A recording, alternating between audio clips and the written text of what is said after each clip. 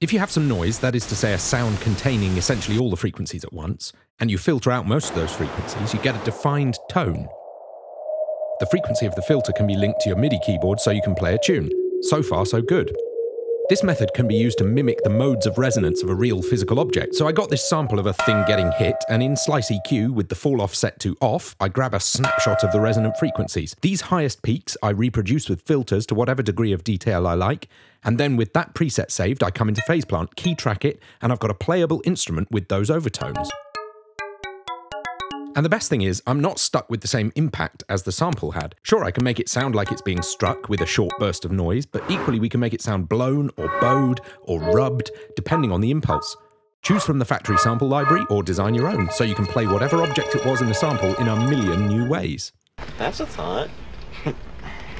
Download the patch from the link below and don't forget to subscribe.